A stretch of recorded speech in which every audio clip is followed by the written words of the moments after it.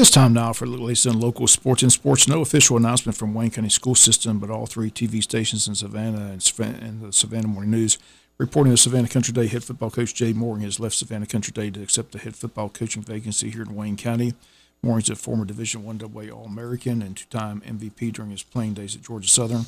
He coached at Savannah Country Day for the past three seasons as head football coach, compiling a 16-16 record, led the Hornets to the second round of the state playoffs in his first season. 39 year old quote is saying, The last 48 hours have been a whirlwind. Wayne County has a great football program. It's one school town that gets tremendous support from the community.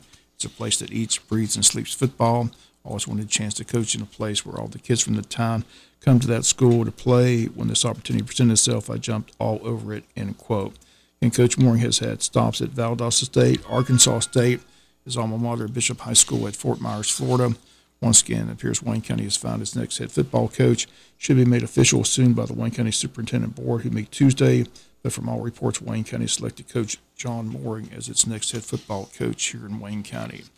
Wayne County High School baseball team defeated Ware County yesterday by a score of three to one to raise their record to 11 and three. Line scores in the game: Wayne County scores three runs on five hits. Ware County had one run on four hits.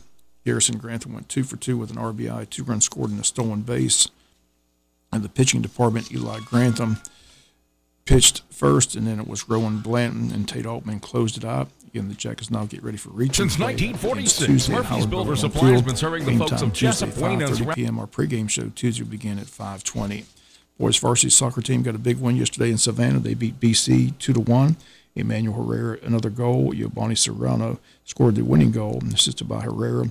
Once again, the Jackets go to BC and knock off the Cadets two to one in middle school baseball. Martha Puckett fell to Bethune Middle from Charlton County. The score 11 to 7. Noah Eby went 2 for 4 with three runs batted in. Sammy Tyre 2 for 3. Huxley Dennison 2 for 3. Martha Puckett pitcher struck out 13 batters. Noah Eby, Beckham Browning, Uriah Scott, and Riley Martin all pitched in the game for Martha Puckett. No golf match Thursday at, at Bacon as there was too much water in the Blueberry Plantation course. Are set to play this weekend in Metter today and Saturday. Forecast doesn't look good for Saturday, but it should have a good day today over there in Metter. JV baseball team in Douglas today. That game begins at 5:30 p.m. Speaking of golf, the Wayne County Golf Tournament set for April 20th at the Pine Forest Country Club.